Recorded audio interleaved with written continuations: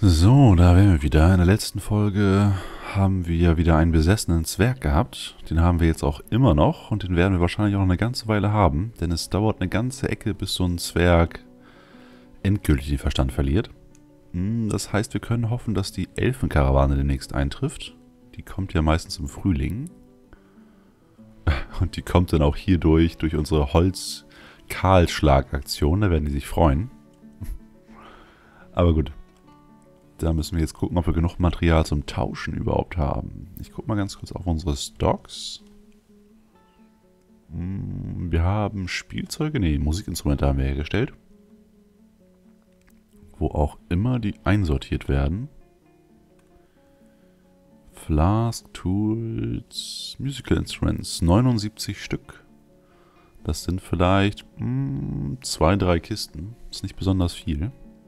Arbeiten die denn auch fleißig? Ja, er schon. Hier ist keiner.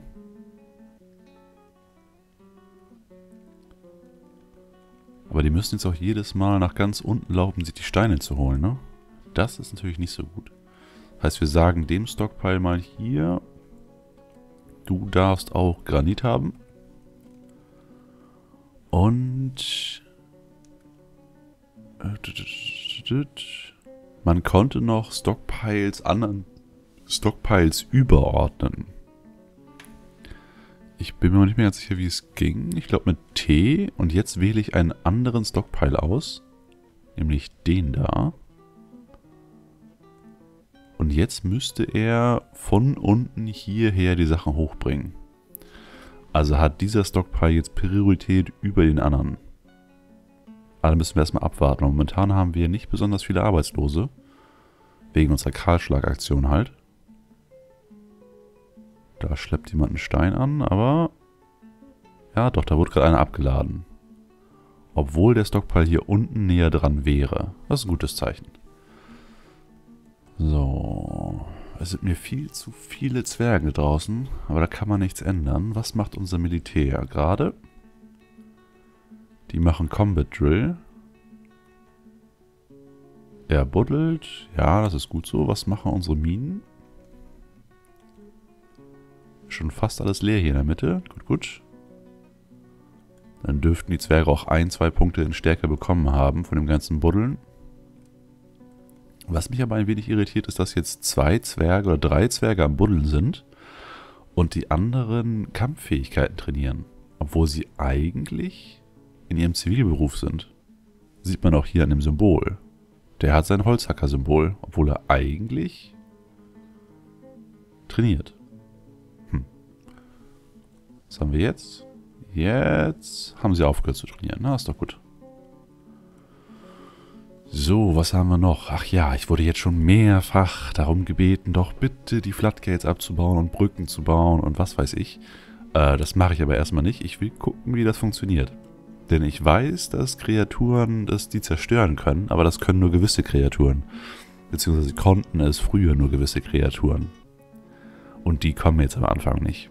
Das heißt, wir gucken erstmal, wenn die erste Invasion kommt, wie sich das entwickelt, ob die Floodgates halten, wie sie durch diese Maze durchlaufen und je nachdem, wie das dann läuft, bauen wir das Ganze um. Aber jetzt irgendwas auf Krampf umzubauen, habe ich nicht wirklich Lust. Außerdem werden wir dann in der misslichen Lage, dass wir mitten in den Umbauarbeiten angegriffen werden könnten. Und das wäre nicht so schön. Und alle Bäume sind weg. also jedenfalls alle, die wir designiert haben. Das ist doch schick. Und hier liegt jede Menge Holz draußen rum. Wahrscheinlich, weil der Stockpile unten voll ist. Ja, das ist doch ein super Anblick. Ähm, ähm, brauchen wir noch irgendwas aus Holz? Wir können bestimmt noch ein paar Betten gebrauchen. Ja, Jobmanager. Wir hätten gerne äh, Bed, Construct Bed 30. So, damit auch schön viele in Master-Qualität rauskommen. Ach, ich wollte gerade sagen, wir können ja die alten Betten, die nicht so gut sind, an die Elfen vertauschen. Aber ich glaube, das möchten die nicht so unbedingt. Knochen haben wir auch nicht besonders viele. Apropos Knochen, haben wir ein paar neue Hunde? Äh, Animals. Ich habe schon welche zum Schlachten designiert. Da sind noch welche neue dazugekommen. Der da, der da, der da und der da. Alles männliche Welpen, die wir nicht unbedingt brauchen. Da haben wir nämlich schon den ersten Ersatz für einen da oben. Äh, na gut, den Welpen lassen wir jetzt auch noch alt werden. Und wenn der alt ist, dann setzen wir den und den äh, nehmen wir als Ersatz für die beiden und schlachten die beiden Alten da.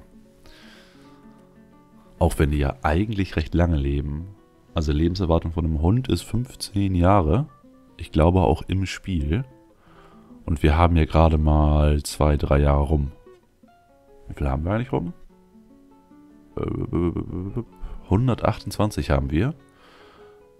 Wir haben 125 angefangen, also sind wir im dritten Jahr. Das passt. Also ja, die Hunde müssten noch eine Weile leben, mit denen wir hier angekommen sind. Aber trotzdem sollte man sowas schon mal vorbereiten. So, haben wir noch irgendwelche Tiere, die am Verhungern sind? Denn ich habe in den Kommentaren gelesen, dass diese Missing-Nachrichten nicht unbedingt auf Vampire hindeuten. Also genau diese Missing-Nachrichten. Sondern das heißt einfach, dass irgendwo ein Tier gestorben ist. Und die Zwerge es aber noch nicht gefunden haben. Das heißt aber auch, dass es nicht unsere Tiere gewesen sein können. Denn unsere Tiere treiben sich ja meistens hier drin rum. Also wo die Zwerge sich auch aufhalten. Oder folgen ihrem Herrchen. Das heißt, sie würden sofort gefunden werden, wenn sie sterben. Das heißt wiederum, dass es wahrscheinlich nur irgendwelche Tiere auf der Karte sind, an die sich die Zwerge mit der Zeit gewöhnen und dann fällt ihnen auf, dass es nicht mehr da ist. Also wenn wir jetzt hier Einheiten drücken und andere, dann haben wir hier zum Beispiel unseren Schwamm. Den Schwamm haben wir jetzt ja schon richtig lange auf der Karte. Wenn Tiere richtig lange auf der Karte sind, gewöhnen sich die Zwerge an die und geben denen irgendwann sogar eigenen Namen. Und wenn dann einer von diesen plötzlich verschwindet, dann machen sich die Zwerge in Anführungszeichen Sorgen. Oder ihnen fällt es halt auf. Und das sind diese Liedernachrichten. Was äh, zwar ein ganz nettes Feature ist, aber hätte nicht unbedingt sein müssen. Also ich konnte auch ohne leben. Mich interessiert es nicht unbedingt, ob jetzt irgendeine Ente, die ich schon seit drei Jahren vor dem Fort gesehen habe, nicht mehr da ist. Aber sei es drum. Oh, der Carpenter Kredas hat ein Masterpiece hergestellt. Das wird dann wohl ein Bett gewesen sein. Sehr schön. Wir können jede Menge Masterpiece-Betten gebrauchen. Da wir ja später 1, 2, 3, 4 Kampftrupp, Kampftrupps haben werden, A7 Zwergen. Ja, ja, das wird schick. Vor allem, wenn wir später genug Metall haben, um die ganzen Rüstungen zu bauen. Apropos Metall, ich wollte runter nochmal in die Mine gucken. Ob wir irgendwo neue Erzadern gefunden haben. Da oben haben wir noch Edelsteine gefunden. Meine Hoffnung war ja, dass wir in dieser Schicht hier andere Metalle finden. Weil in der Granitschicht finden wir anscheinend nur dieses Bismutit. Also jedenfalls in unserem Kartenabschnitt. Aber hier hätten wir die Chance, was anderes zu finden. Das heißt, wir sollten hier nochmal ein paar Quertunnel designieren. Dadurch. Dadurch. Und dadurch. Auf der anderen Seite haben wir auch noch jede Menge, das designiert ist. Danach sollten wir mal ein paar Etagen tiefer oder höher gehen. Weil hier oben haben wir ja überall diese Erdschicht und hier auch und hier auch. Das heißt, da wäre die Chance höher, dass wir andere Steine finden. Hm, wie machen wir das am besten? Das ist ja unser Turm 2. Und hier fangen offiziell unsere Minen an. Das heißt, wir bräuchten jetzt irgendwo noch einen Zugang in die oberen Schichten, der aber nicht mit Turm 2 kollidiert. Denn hier sind ja die ganzen Betten und so weiter. Äh, wir könnten es irgendwo am hinteren Ende machen, aber da müssen die Zwerge so weit laufen. Das wäre ja nicht so gut. Machen wir es einfach mal hier. Also wir machen jetzt hier einen Platz für eine Tür und dahinter machen wir Up and Down Stairways. Und zwar auf beiden Seiten, damit es symmetrisch ist, weil Symmetrie halt toll ist. Und dann buddeln wir uns hier nach oben. Bis... Ah, es ist zu nah dran gewesen. Müssen wir es doch echt hinten irgendwo machen. Das ist doof. So, du auch noch weg. Du auch noch weg. Und du auch weg. So, also wo, bis wo gehen denn unsere Schlafräume? Bis hier. Das heißt, ab diesem Punkt könnten wir Treppen nach oben bauen. Das heißt, wir könnten jetzt hier einfach so eine Treppe nach oben und unten bauen. Oder wir bauen hier eine direkt hin. Also wir drücken mit B, Shift C. Und jetzt können wir auch einfach mitten auf weiter Flur diese Up-and-Down Stairways bauen, die wir normalerweise direkt in den Stein hauen. Und hier wäre die Mitte, also bauen wir einfach hier ein Up-and-Down Stairway aus Granit. So, ich hoffe mal, dass es mit der Höhe hinkommt. Ja.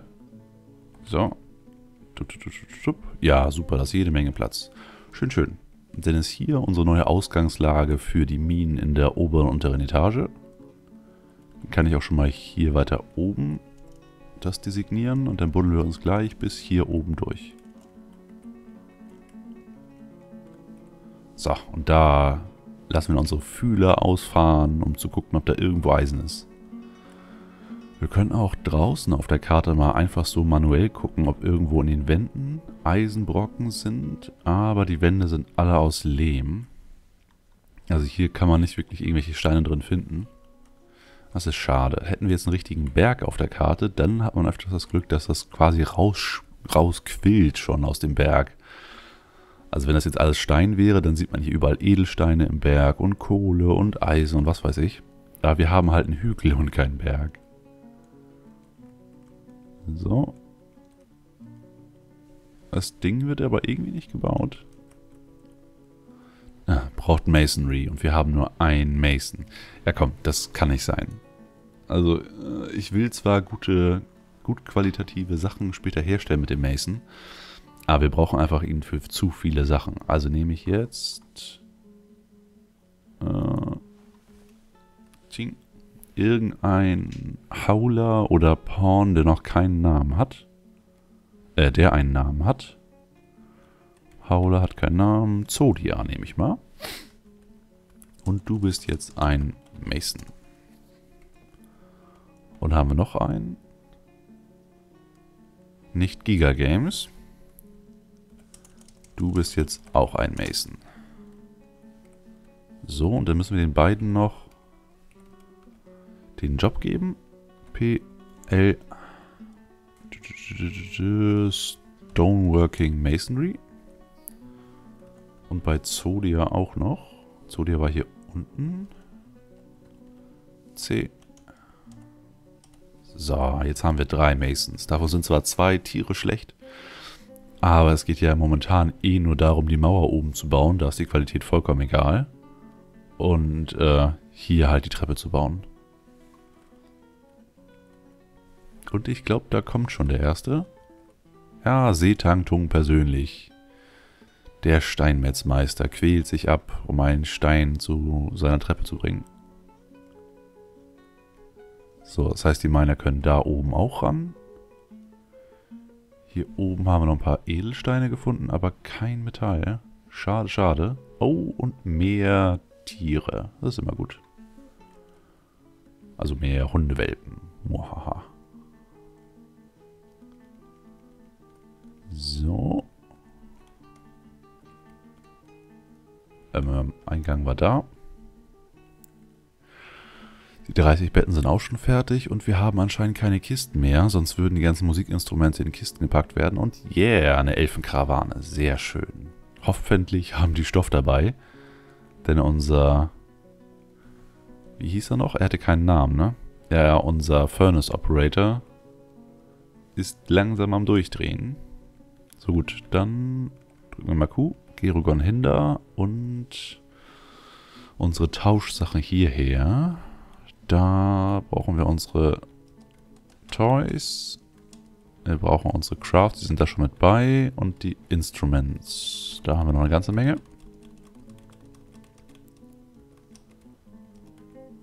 So, war das alles? Ne, hier sind noch mehr. Oh, wir haben ja richtig viele Kisten davon. Ja, dürften wir jede Menge Stoff bekommen. So, und weiter. Wird alles schön hierher gebracht. So, wo ist die Karawane jetzt? War die irgendwo oben?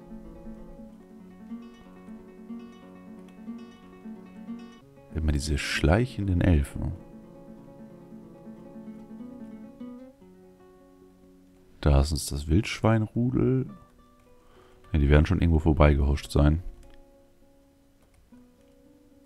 Ah, und Diebe. Da ist der Dieb. Okay, S, Shift A, T für aktiv und K für töten. Den da, den da töten. Der läuft sogar Richtung unseres Forts. Ah, der läuft nach Südosten. Da ist unser Eingang. Nee, da ist er nicht mehr. Heißt, er wird wahrscheinlich schon weg sein, bevor unsere Zwerge überhaupt ankommen. Und da ist die Elfenkarawane. Kommt auch schon rein, soweit so gut. Das heißt, wir können unseren Trupp... Wo ist unser Trupp? Er läuft noch hinterher. Ah, jetzt laufen sie schon wieder zurück. Okay. Killbefehl. Aufheben. Inaktiv. Obwohl, wahrscheinlich kommt gleich der nächste Dieven. Lassen wir sie mal aktiv und positionieren wir sie alle hier im Gang. Damit sie beim nächsten Spiel gleich sofort loslaufen können. Und können wir schon Handel treiben? Nee, Gerogon muss erst noch was trinken. Na gut, dann machen wir erstmal einen kleinen Cut. Und in der nächsten Folge treiben wir den Handel mit dem Elfen hoffentlich um. Oh oh. Schlechtes Timing. Uh, er hatte doch einen Namen. Der Furnace Operator Extreme Chiller has gone berserk. Ist also durchgedreht und versucht jetzt andere Zwerge umzubringen. Na gut, dann äh, treiben wir in der nächsten Folge nicht Handel mit den Elfen, jedenfalls nicht direkt, sondern wir bringen erstmal den Extreme Chiller um. Ähm, ja, das könnte eine recht eklige Angelegenheit werden. Aber gut, das machen wir in der nächsten Folge. Bis gleich.